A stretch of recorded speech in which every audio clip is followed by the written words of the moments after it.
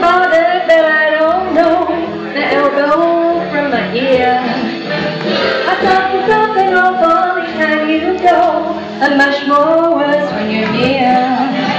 Here I am with all my bridges burned, just living arms where you're concerned. So lock the doors and call me yours, cause you took advantage of me.